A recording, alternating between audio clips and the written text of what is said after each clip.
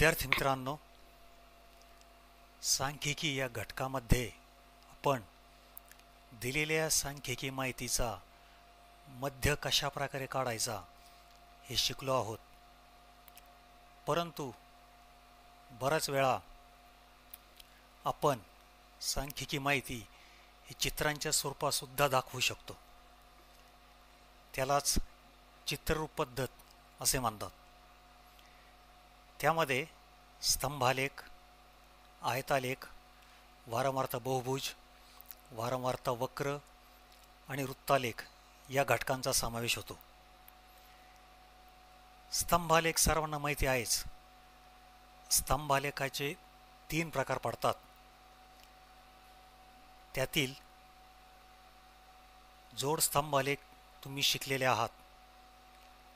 आणि उरलेले जे दोन प्रकार आहेत म्हणजेच विभाजित स्तंभालेख आणि शतमान स्तंभालेख यांचा आपण आता अभ्यास करणार आहोत.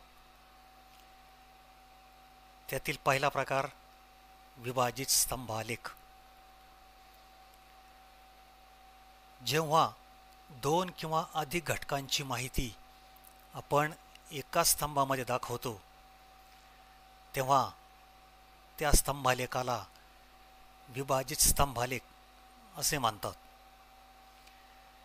विभाजित स्तंभारेखाचे एक उदाहरण आपण अभ्या अभ्यासूया तुमच्यासमोर एक विभाजित स्तंभालेख दाखविलेला आहे.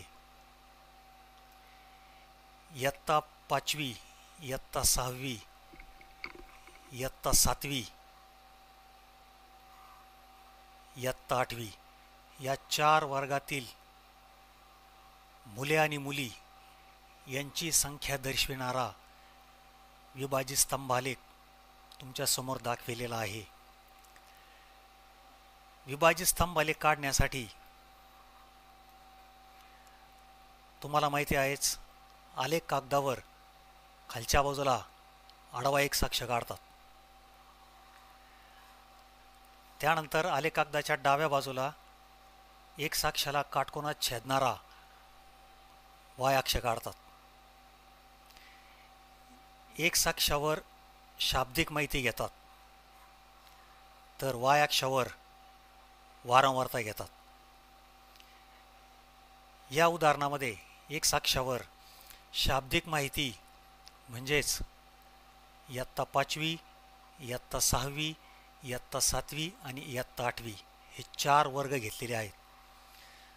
तर वाय अक्षावर वारंवारता म्हणजेच विद्यार्थी संख्या घेतलेली आहे. वाय अक्षावर एका सेंटीमीटरसाठी आपण पाच विद्यार्थी हे प्रमाण घेतलेले आहे. तुम्ही हवे ते प्रमाण घेऊ शकता. आता या विभाजित स्तंभालेखाचे निरीक्षण केल्यास आपल्याला असे दिसून येते की इयत्ता पाचवीच्या वर्गामध्ये एकूण चाळीस विद्यार्थी आहेत. आणि या पाचवीच्या स्तंभाचे दोन भाग केलेले आहेत. एक भाग हिरवा आहे आणि एक जांभळ्या रंगाने दाखवलेला आहे. हिरवा भाग आणि जांभळा भाग म्हणजे काय हे सूचीमध्ये दाखवलेले असते. मुलांची संख्या आणि मुलां मुलींची संख्या इथे सूचीमध्ये दाखवलेली आहे. इयत्ता पाचवीच्या वर्गामध्ये जे एकूण चाळीस विद्यार्थी आहेत त्यापैकी दहा मुली आहेत. आणि उरलेले चाळीस वाजा दहा म्हणजेच तीस ही मुले आहेत. त्याचप्रमाणे इयत्ता सहावीच्या वर्गाचा एकूण पन्नास विद्यार्थ्यांचा स्तंभ आहे. याचाच अर्थ इयत्ता सहावीच्या वर्गात एकूण पन्नास विद्यार्थी आहेत. त्यापैकी तीस मुली आहेत. आणि उरलेले म्हणजेच पन्नास वजा तीस म्हणजेच वीस ही मुले आहेत. त्याचप्रमाणे इयत्ता सातवीच्या वर्गाचा एकूणचा स्तंभ साठचा आहे. म्हणजेच इयत्ता सातवीच्या वर्गात एकूण साठ विद्यार्थी आहेत. त्यापैकी तीस मुली आहेत. आणि उरलेले साठ वजा तीस म्हणजेच तीस ही मुले आहेत. त्याचप्रमाणे इयत्ता आठवीच्या वर्गाचा एकूणचा स्तंभ साठचाच आहे. म्हणजेच इयत्ता आठवीच्या वर्गात एकूण साठ विद्यार्थी आहेत.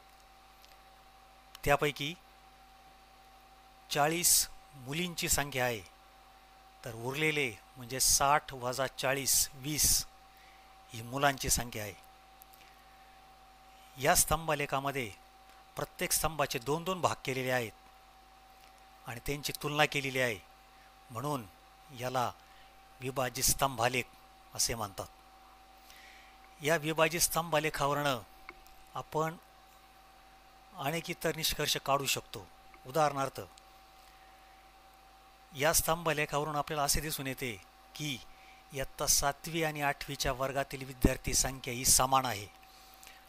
कारण इयत्ता सातवीच्या वर्गामध्ये एकूण साठ विद्यार्थी आहेत.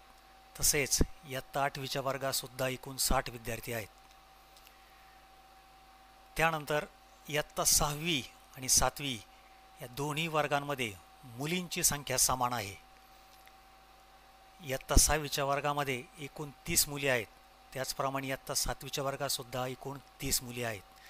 हा दुसरा निष्कर्ष आपण काढू शकतो. त्यानंतर सर्वात कमी मुलींची संख्या ही इयत्ता पाचवीच्या वर्गात आहे. इयत्ता पाचवीच्या वर्गामध्ये फक्त दहा मुली आहेत. असे असंख्य निष्कर्ष आपण या विभाजित स्तंभालेखावरनं काढू शकतो. धन्यवाद.